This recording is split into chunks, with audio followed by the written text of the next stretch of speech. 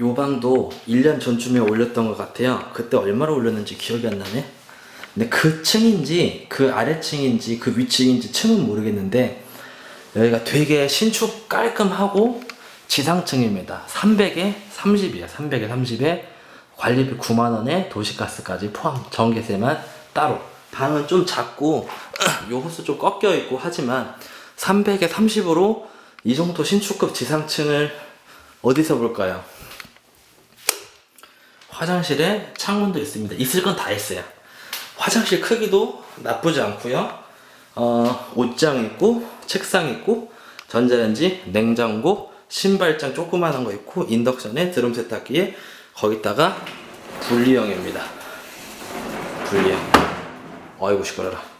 방 크기를 재보면 저기 여기가 꺾여 있기 때문에 아, 여기가 이렇게 여기서부터 이렇게 쭉 꺾여 있어서 이 공간을 빼고 여기서부터 한번 재보면 여기서 이렇게가 2m 80이에요. 그러니까 여기서 안쪽은 3m가 넘을 거고 제일 좁은 쪽에 이렇게가 2m 80이 될 것 같고요.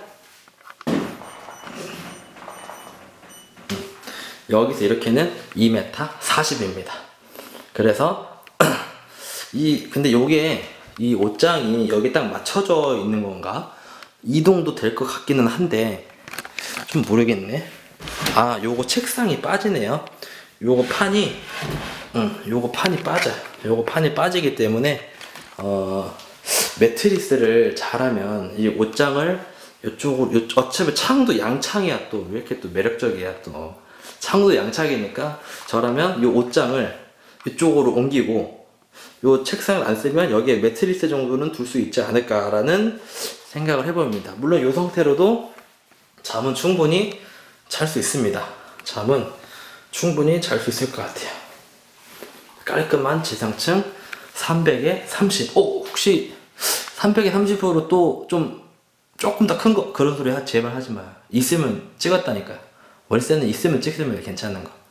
그래서 300에 30으로 신축급 깔끔한 지상층의 분리형의 양창의 풀옵션이다. 여기까지만 제가 얘기하겠습니다. 여기 사진을 했는데 어떻게 찍어도 좀 방이 작게 보이긴 하겠다. 그죠? 최대한 구석에서 거기다가 또 비대까지 이거 뭐 완벽한데요? 작지만 다 있어요. 네, 여기까지 하겠습니다. 재생 목록 누르시면 어, 1000개 정도의 방 영상이 있습니다. 가격대별로 정리해놨으니까 어, 시세에는 많은 도움 될 거라고 생각합니다.